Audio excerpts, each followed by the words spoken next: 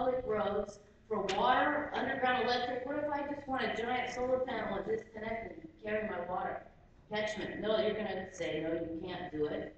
And then eventually, it seems like the plan here is for these guys to amass as much of all the normal people's land as they can that are working day by day and just barely struggling to hold on, paying these taxes and paying everything else. And just, oh yeah, this is, this is just, it makes me nauseous reading this. It's even more pissing me off than the fencing thing and killing off the ungulates. This is the draft thing. You guys can see how they, they slash through what they have written in the red. It's bizarre. It says, um, this falls under the eligible project guidelines, number eight. And what they slashed out does not unduly burden existing water systems, sewage and other waste disposal systems, transportation systems, roadway drainage, streetlight, open spaces, parks, or other recreational areas, public utilities, and public services, or includes as part of the proposed project, the development of such systems, facilities, and services at reasonable cost. They scratched all that out, got rid of that, and then just wrote on there, like he said at the beginning of the meeting, oh, there would be an EIS. It assesses environmental impacts as required under chapter three four three, well, duh, that's a law, you know? And then right after that sentence about the chapter three four three, they scratch out the word utilizes, but then write uses indigenous species of plants whenever and wherever feasible in the landscaping of the project.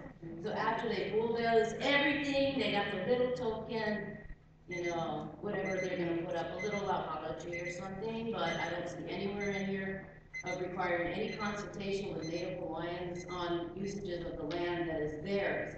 You're calling it ceded land, it's kingdom lands, and that's been obvious for quite a while. And I think the other lady did, you know, also talk about this thing, I can't even believe it when I read it, about putting liens on your property after they get the proposals for develop, development, they're, the people developing are putting in this stuff, saying you have to connect and you're gonna lose your land, and even one of the sentences said, even if you're a person with disabilities, you still, you got your thirty days, if you don't pay, that's saying that you can, um, that you're agreeing to this situation of having another mortgage, and the only thing on your lien of your property that's gonna be bigger than that is the lien for property taxes. And I, I brought up the wrong folder, but I just couldn't believe it either. The only way you can get out of that is sue them. If you're in a court of law and you bring them to court, because they're saying you have to hook up on their assessments and pay whatever they deem necessary with their assessments taken to courts. I think what we all need to do right now, tell as many people as you can about these papers. It's the first time I saw them tonight. Let everybody know what they're trying to do, and let's all sue them. Sue the DLNR from the top, sue this corporation that they're trying to stay under them is, it's just bizarre, thank you.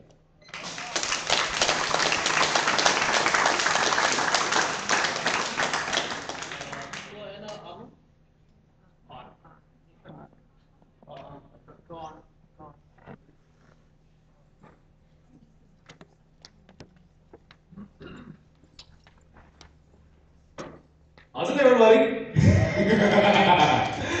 I, just, I got, uh, you know, I have to honestly say, I feel honored to be able to follow Uncle Abel.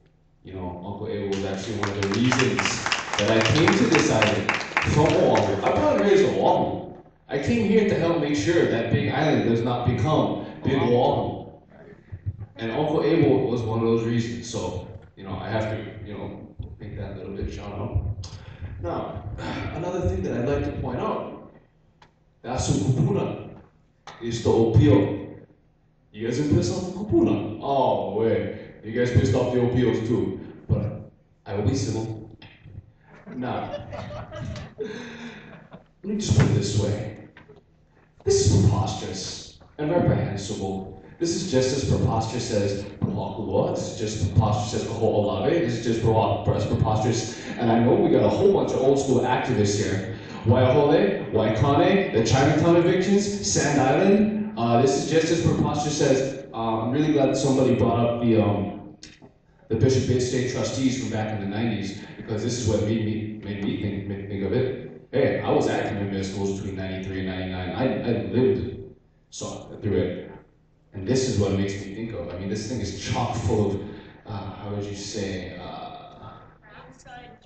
Oh yeah, I mean not just not just sweetheart deals, not just inside job. I mean chock full of inconsistencies and outright contradictions. Uh, let's see, culturally sensitive means being sensitive to the culture and his, culture and history of the lands. This is a living embodiment of the culture and history of this land, which is theft at gunpoint. And but these days, you know, hey, this is the modern world we live in. People play with pens, not swords. Let's see, what else do we have here? Improvement means the addition and renovation, replacement, repairs, or maintenance. And yet, do you really think that you're improving some of these natural wild areas? Uh, let's see, what else? Um, you have here on page 302-8, in bright red letters, optimize, and yet in the definition section, you don't even say how you define what it means to optimize. I mean, I can guess, by your Uh, let's see. And I'm glad, um, well, one of the ladies kind of stole my thunder a little bit when she did the Cui Bono thing. Like, that's actually, uh, that's kind of my thing. But uh, the answer to that is right here. Who profits? Ah, let's see. Subsection 13-302-25, subsection 2, generates a consistent and sustainable source of revenue for the state as applicable. Uh, let's see, let's see. Uh, uh, the extent to which the proposed project is culturally sensitive. Now let's think about this. Everything about this is culturally insensitive. I mean, cultural sensitivity, everything from Loihi to the end of the northwestern Hawaiian Islands, that's cultural sensitivity. We're sensitive to that. Now, gentlemen, now that my time is up, I will do one last thing. Now, let's pretend that we're actually in a democracy here. Let's get a show of hands. Opposed? In favor? Okay, opposed again. Gentlemen, take a hard Yeah, look. right. They're not even looking. We're just ignoring it. I mean, I get chicken skin right now. I'm not, you know, none of these people here are directly angry at you guys. We understand that you guys have people to answer to, and you were sent here to take a little bit of verbal flogging from the public.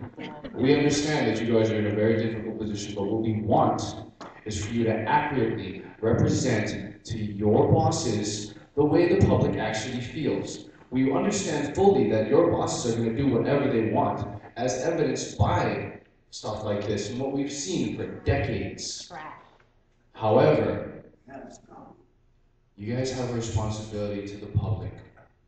You guys are public servants. Public land. I hope. Thank you very much.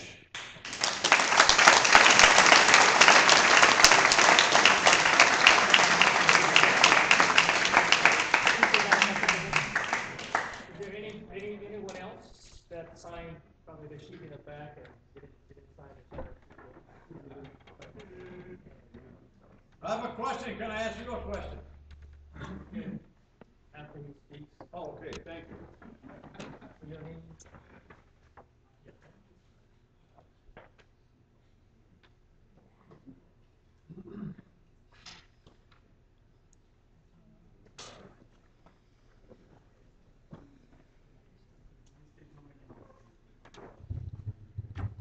Aloha kakou. Uh, Kalamai, my name is Alex Luca. I come from Oahu. I was only visiting our heiau over at Puukohola. It's our annual pilgrimage to honor our ancestors that created our sovereignty. It is that heiau on your island. I wanted to share with you folks a little bit, of, a little ray of light. Uh, you guys remember uh, Mahatma Gandhi when he beat he beat the United Kingdom? Remember Lech Walesa when he beat Russia? He got his country back. Those two gentlemen, all they expressed to their people was to organize. Organize, organize. I have a little light for you. There is a process in town called reinstatement of the lawful Hawaiian government and its kingdom. It is live and well, just waiting for you guys to show up. All you have to do is sign up and show your numbers. The numbers will speak for itself. We are in the law, we are in compliance with international law, federal law, state laws, county regulations, and domestic kingdom laws. That is the process of reinstatement. There have been several countries that got their nations back within the last 20, 30 years. There was at least 80 countries that got them back. We can do the same.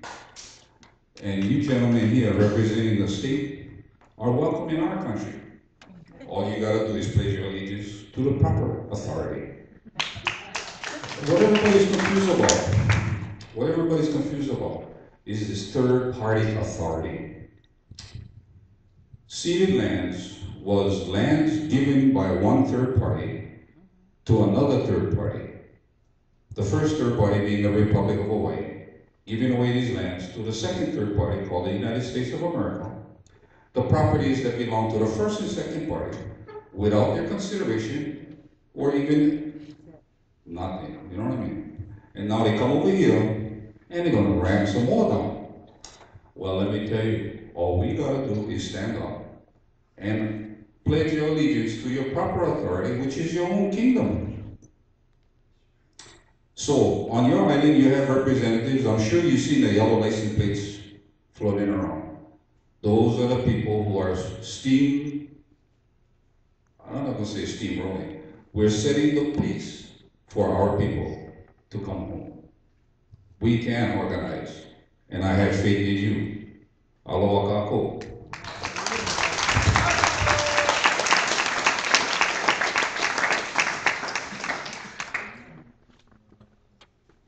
I think you wanted to ask questions, but tonight's uh, meeting, as I said uh, initially, is, uh, you know, for you folks to come and testify.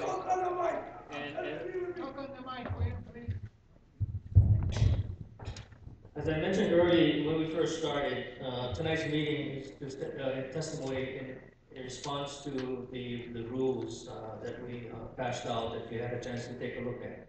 It's, uh, you know, uh, probably some of you, or maybe all of you would want uh, to, to talk about and debate, uh, but that's not the, uh, the reason for tonight. Uh, you know, uh, we came out, uh, it's, it's a public hearing, and, and it's, it's, you know, we've, we've done that, we've heard you, we heard you loud and clear. So what we do now is, you know, we, we take, the message that you gave tonight, some of the, issues that you raised in the rules, and, you know, we're gonna take a look at that after we, uh, go to the, uh, the, the rest of the public hearings, uh, that's, uh, that's slated for this week and next week. And after we, uh, you know, compile all of the, uh, uh, comments, to the, to the, to the rules itself, and we'll come out with responses to, each and every question or concern that you had in the rules itself, so. I thank you for coming this evening, and, thank you. Why wasn't this recorded in its entirety if this is a hearing? Okay, and also, I, you know, I have a question. You know, they're saying that the governor's, uh, uh, popularity has gone way down, yet he's collected so much money for his campaign. So is that all the guys that are lining up to develop the, the, uh, public land? Is that where all those donations came from? Well,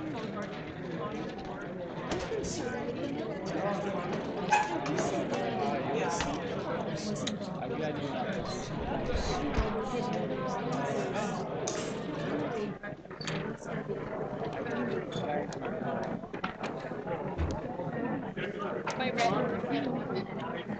Thank you, thank you for your help saving our old age. You see that? I did. It's beautiful. So uh, it, it, we're, we're gonna publish it in our newspaper. Hey, good. How are you?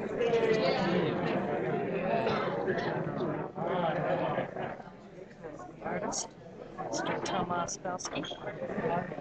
His beautiful wife Milani gave me a copy of that awesome mosaic. That's what he drew for today. Good meeting. And this concludes the Hilo version of the Public Land Development Corporation ha ha ha public meeting, August twentieth, two thousand twelve. Hello.